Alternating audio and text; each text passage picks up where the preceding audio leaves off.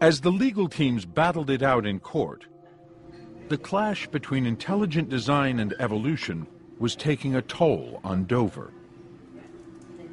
Local newspaper reporter Lori Lebo sat through every day of testimony, and the conflict began to drive a wedge between Lori and her father. He believed that God really should be in science class. He did not believe in science. And he was all worried about me and because I believed in evolution and he said, you know, well, do you really believe that we came from monkeys? I'm like at that point I was I was pretty burnt out from the trial and I didn't really have the patience that I probably should have had with him and I just said, yeah, I mean, you know, yeah, I do believe in evolution, Dad. And so we'd fight every morning. If you believe in heaven and hell and you believe you have to be saved, nothing else could possibly matter. Not the First Amendment, not science, not rational debate. You, all that matters is that you're going to be rejoined with the people you love most on this earth. Teaching the traditional evolutionary Darwinian concept that man evolved from lower uh, or forms of life, that's almost a slap in my face. That takes the dignity away from humanity, as far as I'm concerned. What gives dignity to man is that every one of us are made in the image of God. He is the creator. And he created the world with intention and with design. It upsets me deeply that now in our educational system we are indoctrinating our young people to think differently about humanity. I've never made a secret of the fact that I'm a Roman Catholic, and a long tradition of scholarship in the Catholic Church has argued that truth is one, that science and religion should ultimately be in harmony. But that doesn't make faith a scientific proposition. I think, as many religious people do, that faith and reason are both gifts from God. And if God is real, then faith and reason should complement each other rather than being in conflict.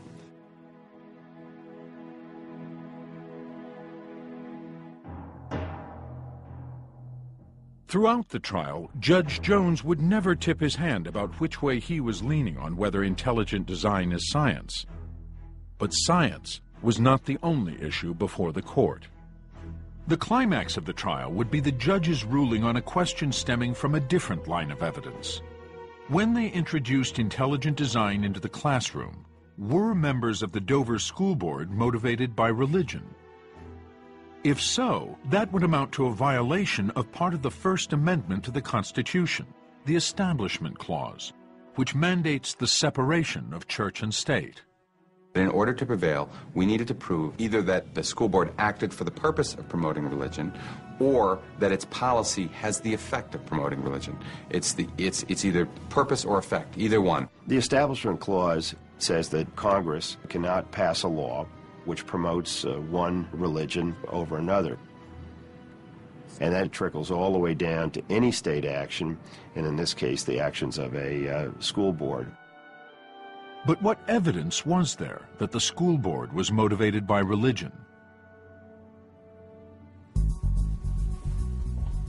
Months before the trial, when Bertha Spahr had unpacked the boxes containing the 60 copies of Pandas given by an anonymous donor, she found a clue.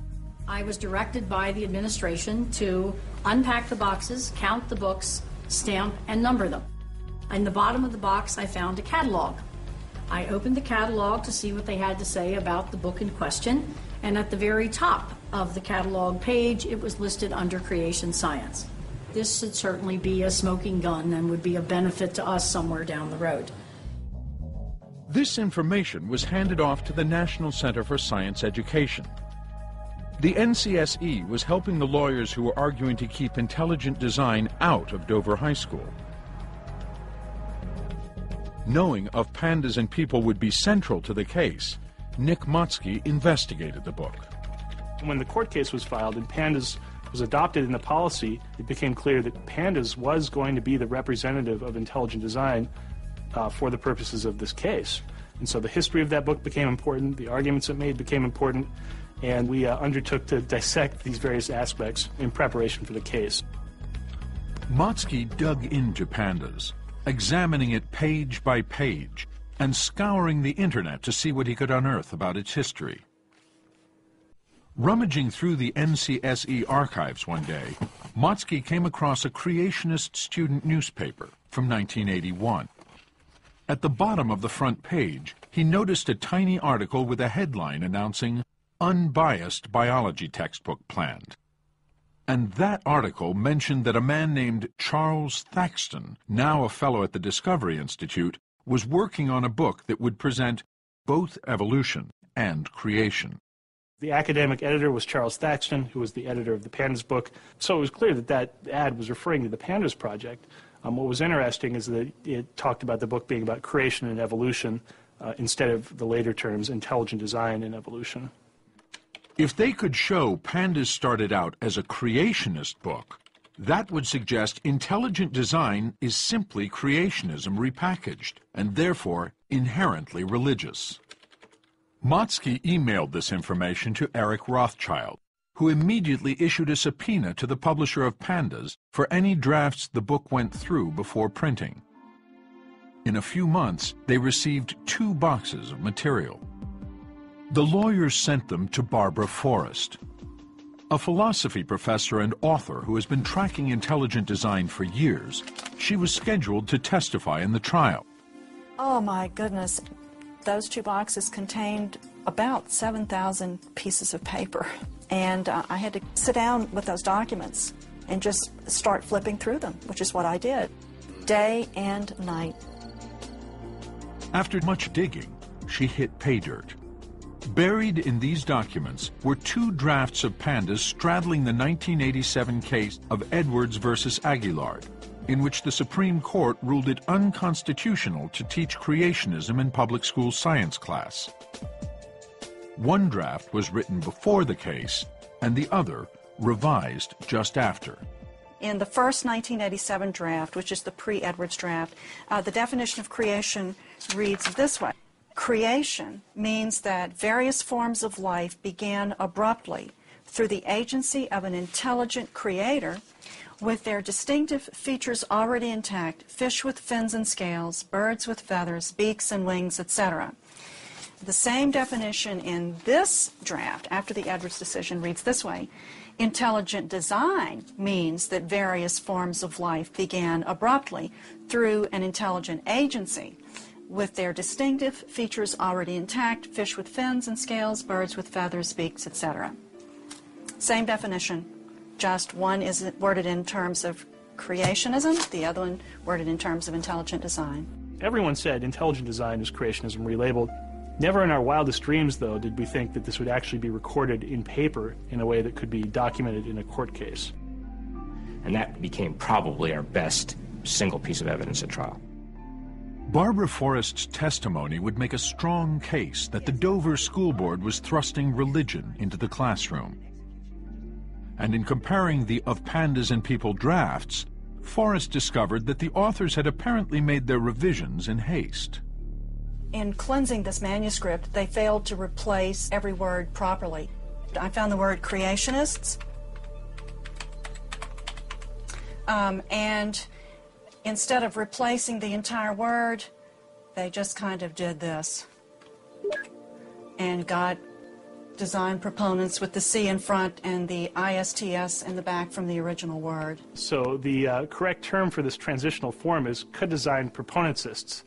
And uh, everyone now refers to this as the missing link between creationism and intelligent design. You've got the direct physical evidence there of a transitional uh, fossil. Barbara Forrest's testimony not only traced the creationist lineage of pandas, citing a Christian magazine's interview, Forrest let one of the intelligent design movement's own leaders, Paul Nelson, speak for himself. The question he was asked was, is intelligent design just a critique of evolutionary theory or does it offer something more? Does it offer something that humankind needs to know? And this is his answer, quote, Easily, the biggest challenge facing the ID community is to develop a full-fledged theory of biological design. We don't have such a theory right now, and that's a real problem. Without a theory, it's very hard to know where to direct your research focus. Right now, we've got a bag of powerful intuitions and a handful of notions, such as irreducible complexity, but as yet, no general theory of biological design, end quote. The evidence she brought into that courtroom really exposed the hypocrisy of the intelligent design movement in a way that's irrefutable. Uh, you know, she used their own language, things that they had written and said, to show that they themselves knew that this isn't science. And on the stand, Michael Behe was asked how he would define science. Dr. Behe, using your definition, intelligent design is a scientific theory, correct? Yes. Under the same definition, astrology is a scientific theory, using your definition correct? Using my definition, a scientific theory is a proposed explanation which focuses or points to observable physical data and logical inferences. There are many things throughout the history of science which we now think to be incorrect, which would fit that definition. Yes, astrology is in fact one. So is the ether theory of the propagation of light, and many other, uh, many other theories as well. The ether theory of light has been discarded. That is correct. But you are clear. Under your definition, the definition that sweeps in intelligent design, astrology is also a scientific theory. Yes, that's correct.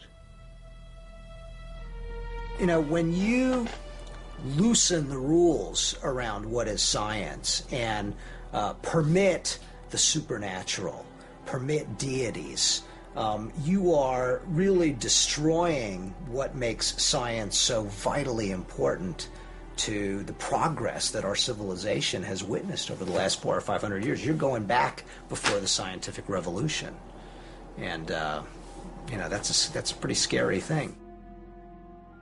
With the scientific revolution, the work of Galileo, Newton, and others banished supernatural explanations from science. But some think the supernatural still has its place. At the very beginning of genetics, uh, the idea of there being a hereditary factor that somehow was responsible for the traits that we have, but one couldn't quite identify what the factor was. That was also initially regarded as supernatural as well. So it's not that supernaturalism hasn't been part of science. In fact, it has been, and it's often led to very fruitful results. And it seems that the evolutionists want to, in a way, uh, ignore or marginalize that very important part of the history. But Barbara Forrest testified that the intelligent design movement's goals are not entirely scientific and are spelled out in a secret Discovery Institute document that had surfaced on the internet. Their goals are listed quite clearly in the Wedge document. It's their strategy document that they drew up about nine years ago in 1998. Their goal is to completely overthrow all of the effects of, of evolution on society, which they think are uniformly negative. Um, uh, this document states that they want to completely change American culture back to what they believe is its properly religious foundation. They want every area of life to be governed by their particular religious preferences, and they're very clear about that in this document. According to the Wedge document, Darwin portrayed humans not as moral and spiritual beings, but as animals, leading people to abandon objective moral standards. The document lays out an ambitious agenda to overthrow this legacy. To see intelligent design theory as the dominant perspective in science, and to see design theory permeate our religious, cultural, moral, and political life. Though not written by Phillip Johnson, the Wedge document is an outgrowth of a broader policy he conceived called the Wedge Strategy. I know it can be made to sound like something sinister and conspiratorial, but the Wedge Strategy, as I've explained it, is uh, quite simple and innocent. When you use a wedge to split a log, You start with the sharp edge of the wedge. My job is to be the sharp edge of the wedge, to use my academic credentials and legal abilities to get some hearing for the uh, proposition that there really is something fundamentally wrong with the Darwinian story. But I can't answer all the questions that arise. And so we need other people to form the thick edge of the wedge to take on the questions that do require uh, scientific expertise. With Michael Behe and others forming the wide end of the wedge, Johnson hopes the wedge strategy will overturn what he sees as the negative effects of a century and a half of Darwin's theory. The Darwinian story, when it became accepted, had a huge cultural impact. And if that story were discredited, then the cultural impact would be reversed, and there would be cultural changes in the other direction as well.